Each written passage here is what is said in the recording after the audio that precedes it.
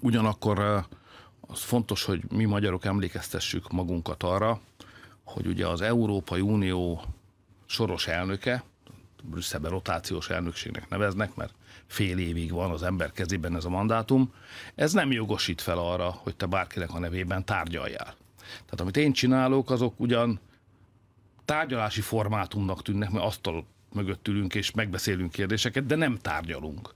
Ezért nekem nem is kell mandátum, mert nem képviselek én semmit. Én egyetlen dolgot teszek, elmegyek azokra a helyekre, ahol olyan háborús veszély van, vagy háború, aminek Európára és Magyarországra nézve is van negatív következménye, és tényeket tisztázok.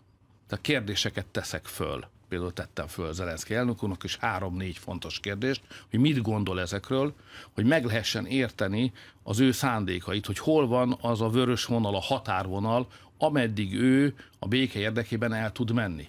Ha ezt nem mérjük föl, ha ezt nem ismerjük pontosan, ha ülünk Brüsszelben, akkor nem tudunk közelebb menni a békéhez, mert a béke magától nem jön el. Tehát ha azt gondoljuk, hogy zajlanak az események, és ebből egyszer csak béke lesz, akkor félreértjük a háború természetrajzát. Béke akkor lesz, hogyha valaki azt megcsinálja. Azért lépéseket kell tenni.